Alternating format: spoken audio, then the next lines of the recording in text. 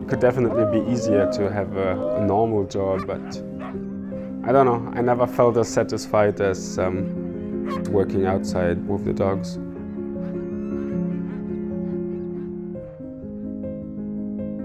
I would definitely say it's a hard job.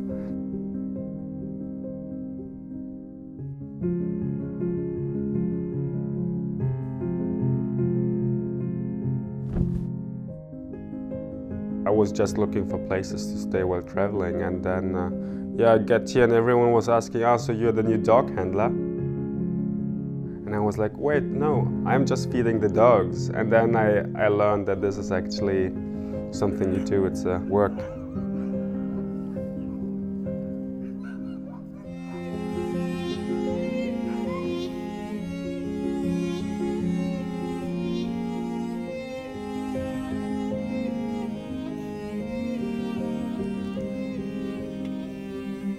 I always thought I was more the person for warm weather, like I've been surfing in Central America and grew up in Africa, so for me the cold was like, oh fuck, how is that gonna be for me?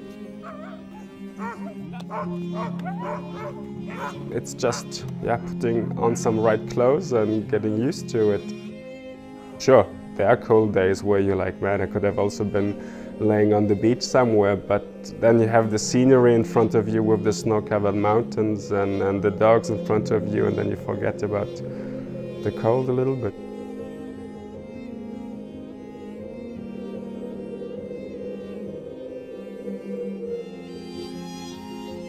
You really see the difference, the energy of the dogs. If it's a really cold day, like minus 15, 20, then they're like super energetic.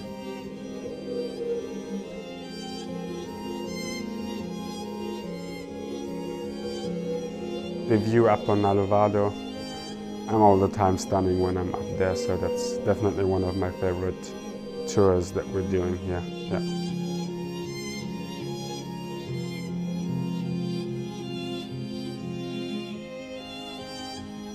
Since I was a baby, we always had dogs around. Yeah, one or two dogs, that's, that's something else than having 50 dogs around and um, feeling the power and energy of them getting crazy or barking or howling. That's, yeah, that's different. But I love that feeling, like the super exciting harnessing and then as soon as you go, it's quiet and um, you just enjoy being outside. It's like an intense contrast that you get. If you feel that, you couldn't deny that all of them are super excited to be harnessed and then go.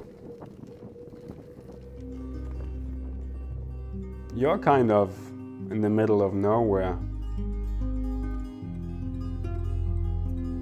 But then, luckily, there's now some friends and we have a second dog handler, so that helps to like have company. But it's still, you still feel lonely. That's maybe a downside, I would definitely say. It's hard to meet people up here. Even though I managed to meet my girlfriend last year up here, but uh, yeah, it was great.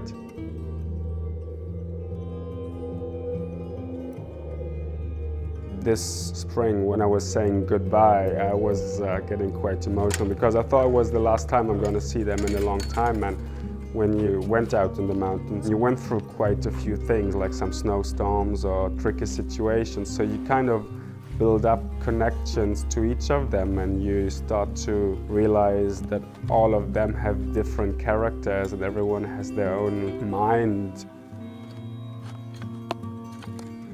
It's not always fun, like the dogs are giving you a reward, so at the end it becomes good.